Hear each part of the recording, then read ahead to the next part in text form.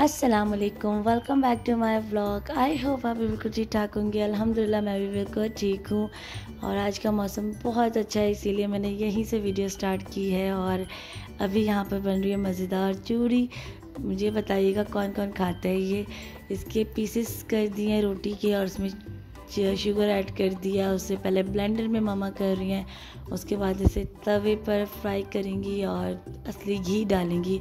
बहुत अच्छा टेस्ट आता है, बहुत मज़े की बनती है। उसके बाद हम लोग बाहर जाएँगे और यहाँ पर ये मकई तैयार हो रही थी और बहुत अच्छी लग रही थी और इसीलिए ये ले रहे थे और ये बहुत मज़े की बनती है।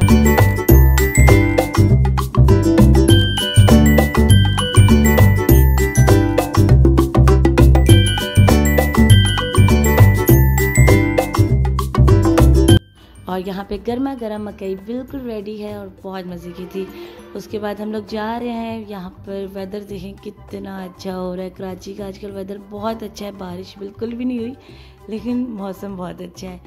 तो हम लोग यहाँ रक्शे में बैठ गए हैं और मेरी सिस्टर की तरफ़ जा रहे हैं। ये वाला रोड मैंने पहले भी आप लोग को दिखाया ये वाला रोड मुझे बहुत पसंद है, क्योंकि ये ऐसे गोल बना हुआ है ना तो मुझे बहुत अच्छा लगता है। जब यूँ टर्न हो रहा होता है तो बहुत अच्छा लगता है।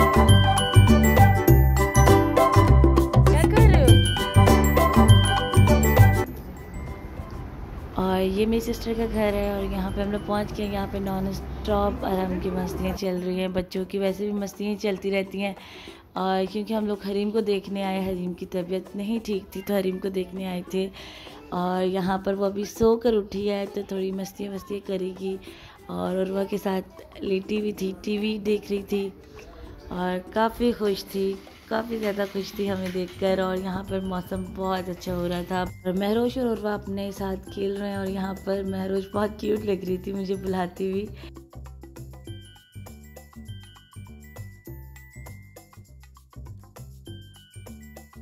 यहाँ पर इनकी मस्ती नॉन स्टॉप स्टार्ट हो जाएँगी और मुझे बस इनकी यही बहुत अच्छी लगती है मस्तियाँ। भाई, ये लोग एक दूसरे के साथ खेलते हैं, बहुत अच्छी लगती है, माशाल्लाह।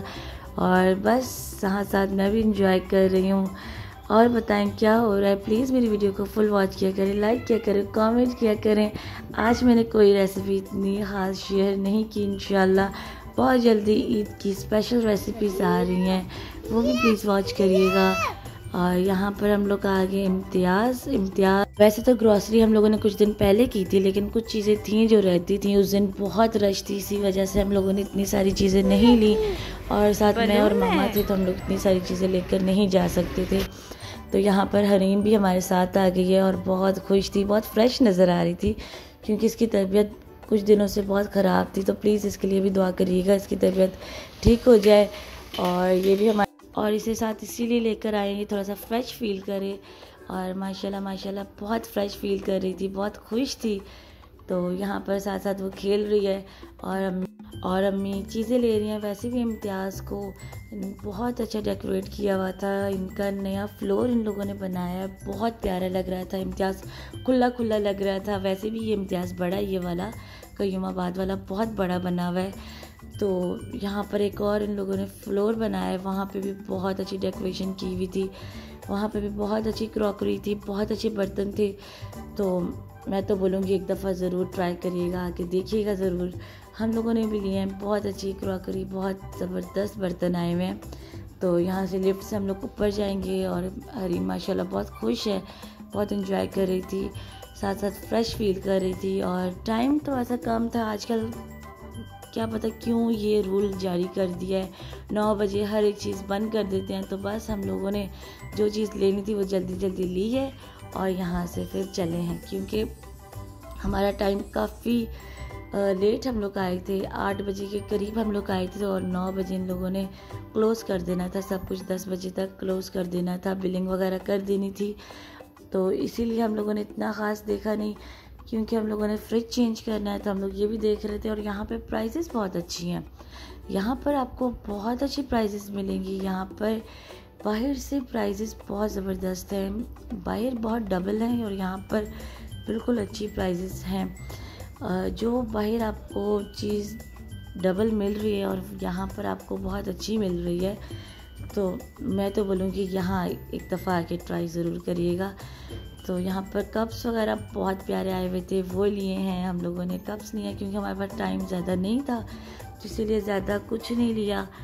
तो बस थोड़ी सी ग्रॉसरी की है कप्स वगैरह लिए हैं। और ये वाला कप बहुत अच्छा लग रहा था, ये वाले कप्स लिए हम लोगों ने।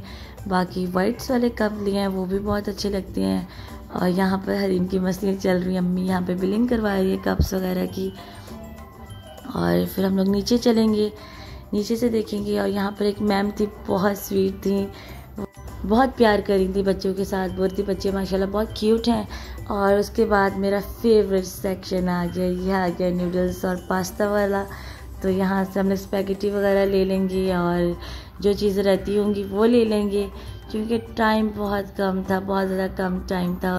तो बस हम लोग नीचे वाले सेक्शन में जाएँगे, ये ग्राउंड फ्लोर पे जाएँगे और यहाँ पर वेजिटेबल्स और ये चीज़ें होती हैं।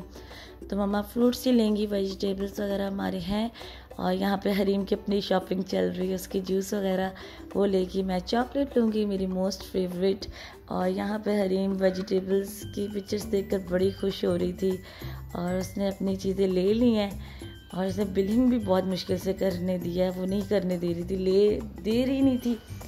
तो यहाँ पर वो अपनी चीज़ें देख रही है और मामा फ्रूट्स वगैरह ले रही हैं और उसके बाद हमारी बिलिंग हो गई थी और हम लोग वापस जा रहे हैं। उसने रास्ते में भी अपनी कोल्ड ड्रिंक नहीं छोड़ी। तो बस हम लोग अल्हम्दुलिल्लाह अपने घर पे पहुँच गए हैं और बहुत अच्छा दिन गुजरा है और यहाँ पे स्पैगेटी रेडी हो गई है। बहुत मज़े की बनी हुई थी। प्लीज़ मेरी वीडियो को लाइक करिए, कमेंट करिए, शेयर करिएगा। अल्लाह हाफिज़।